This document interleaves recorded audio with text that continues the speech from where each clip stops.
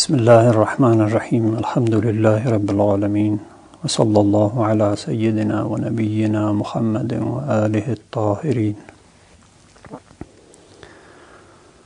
In Irfan al-Amali, the main object, the main purpose is purification of the soul for its perfection.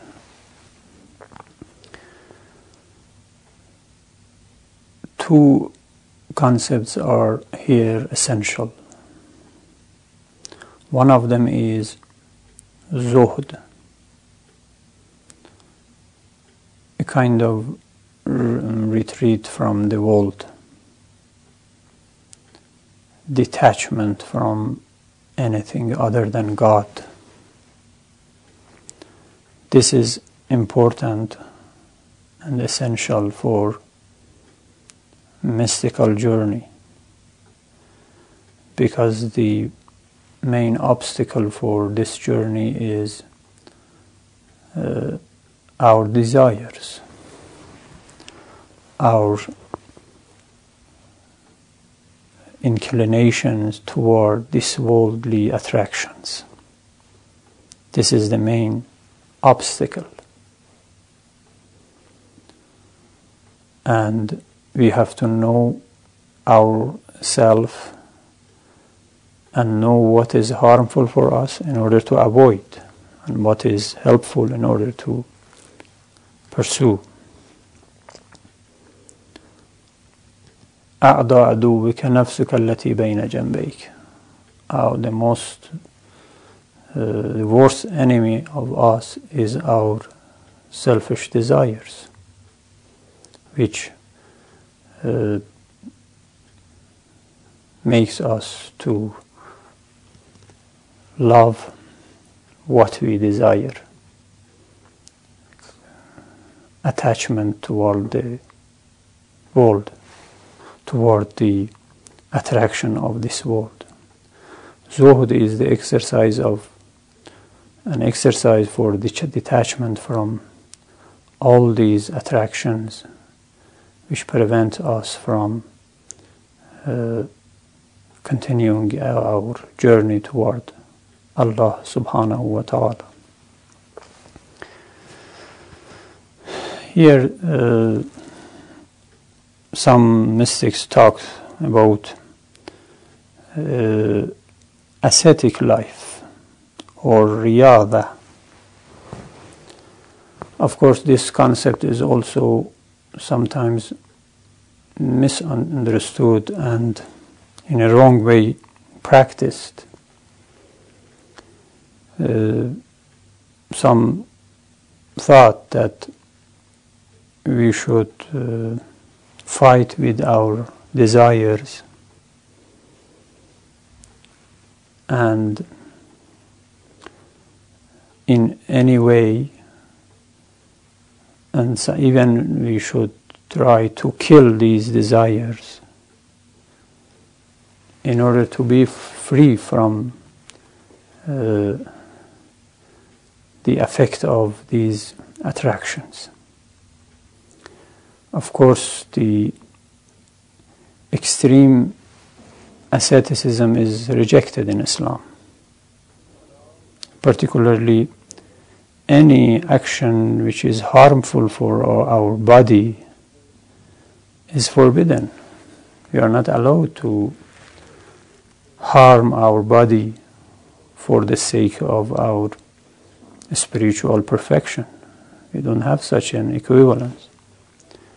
It is based on a wrong view of the relation between this world and the hereafter, between material world and immaterial world, between human soul and body. They see these two as two opposite poles, while they are not. Our body and soul are not uh, in the opposite pole. Rather, our body is important for our perfection too. Therefore, we should not harm our body. And these desires are also are not uh, wrong and should not fight with our desires. Rather, what we should do is to modify them, to correct ourselves, and to put them in the right direction. Uh, no desire by itself is evil. What is evil is to go to extreme and to go out of to use the, our desires and potentialities and faculties in a wrong way. And this is the purpose of education to modify and to correct, not to destroy these desires. Therefore, some act of asceticism which is helpful in this regard is uh, encouraged in religion. For example, fast. In fast, we exercise our resistance toward our desires. When we are thirsty, we like to drink water. When we are hungry, we like to eat food, and so on.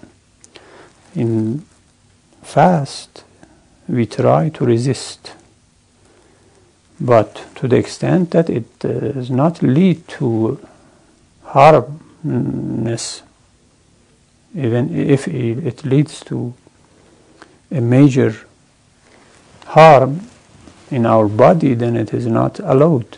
We should not uh, have fast. So it is to strengthen our will, not to weaken our body. The purpose is not uh, weakening the body, is to is strengthening the soul, the will. And there is no contradiction between soul and body they must be, and the ideal is that they both must be in the same life, in the same line, in a harmonious way. And this is the purpose of zuhd.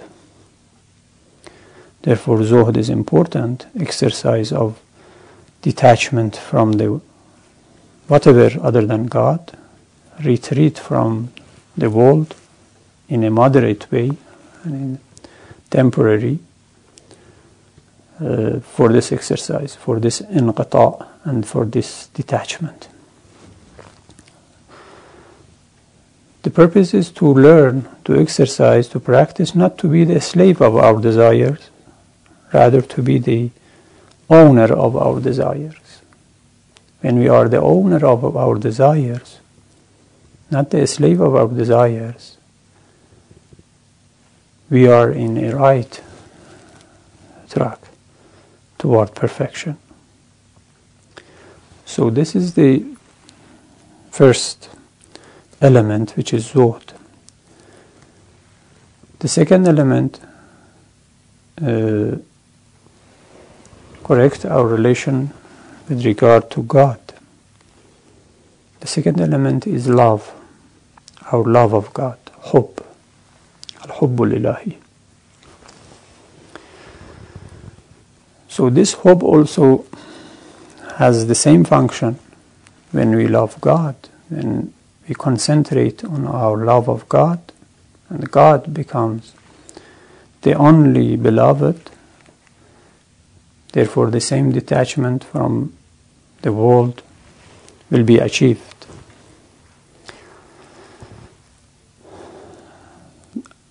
So, the more this love is strong and intensive, uh, the more be our detachment from the world.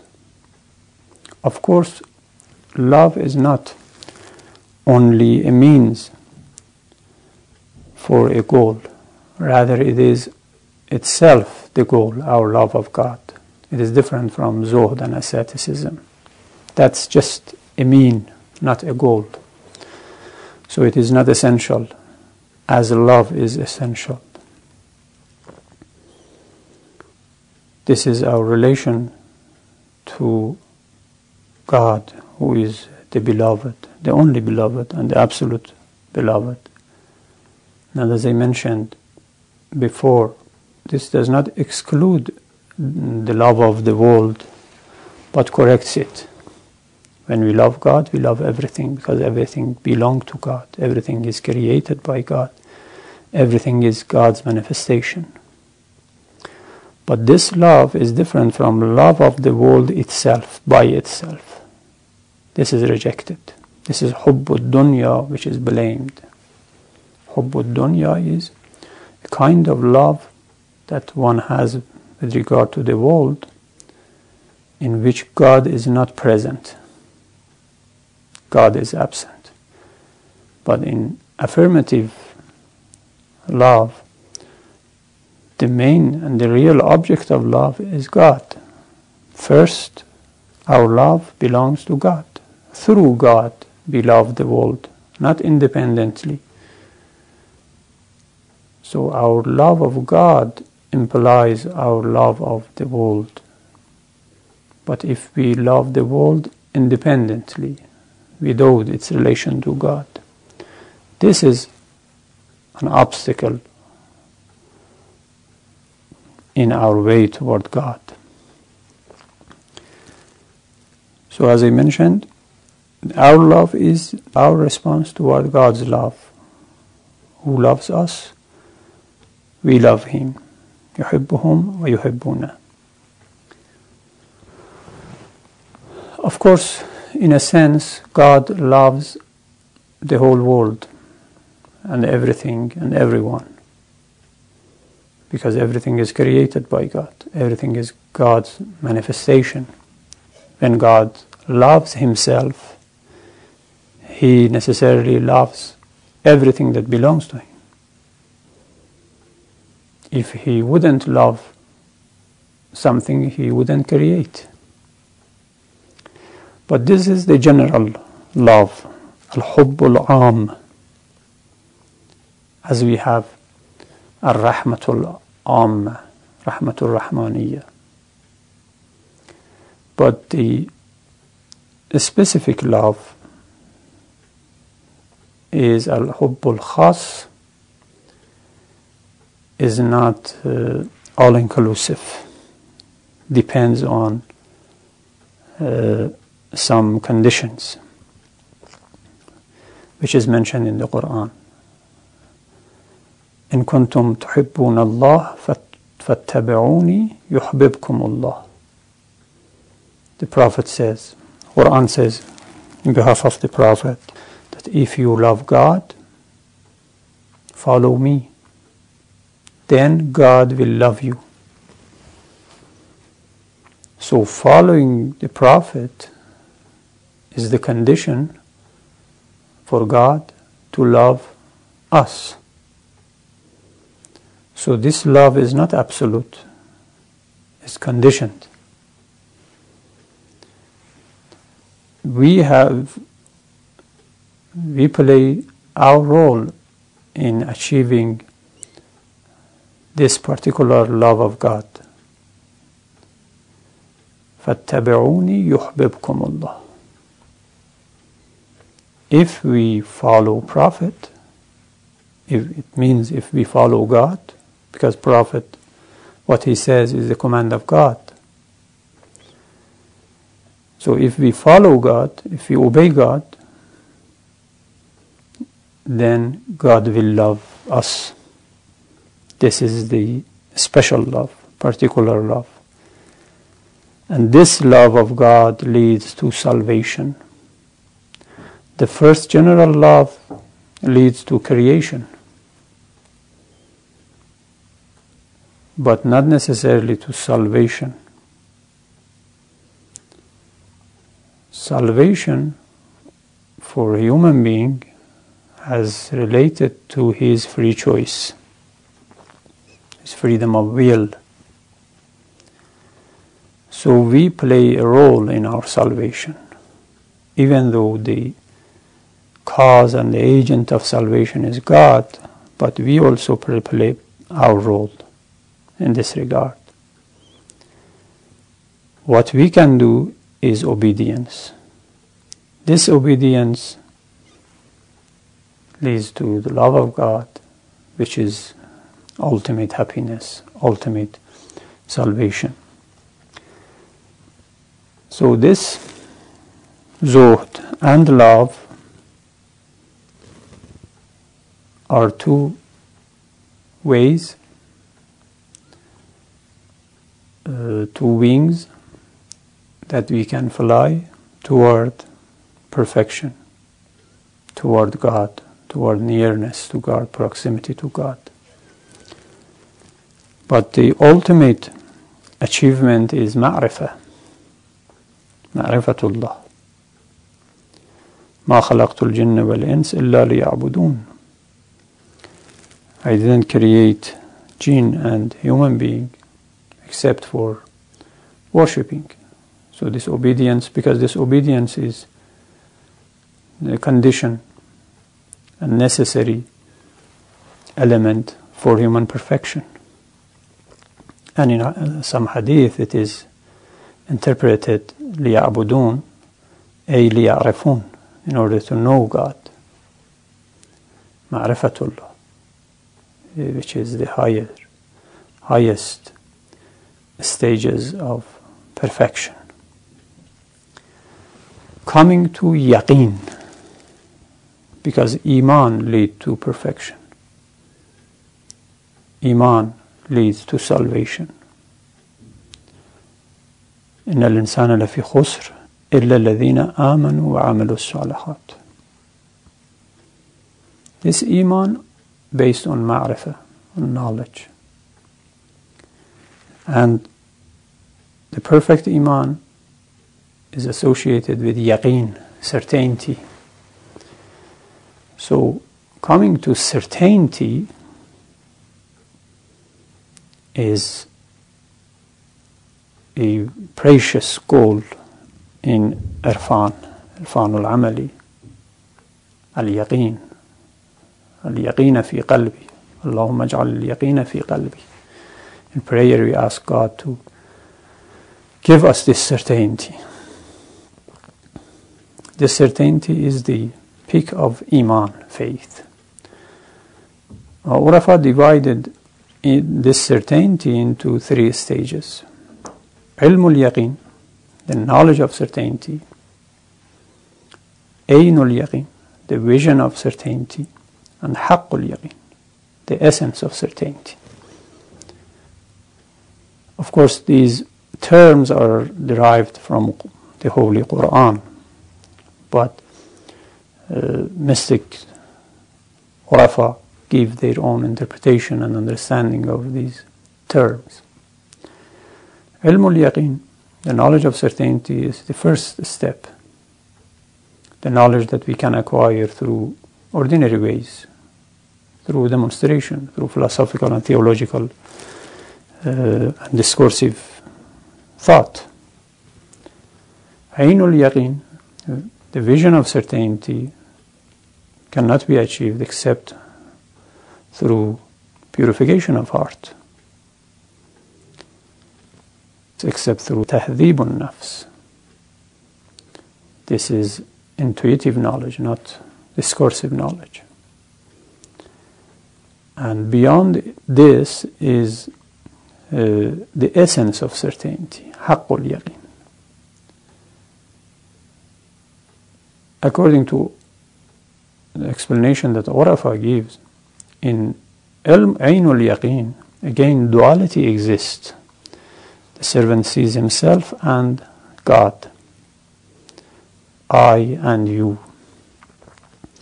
But in haqqul yaqeen, uh, Uh, which is the state of fana, annihilation. One does not see himself. One does not see himself, only see God, as if he is annihilated in God and united with God. So, this is, of course, understood in different ways. Uh, which uh, uh, some of these interpretations, some of these understandings are controversial.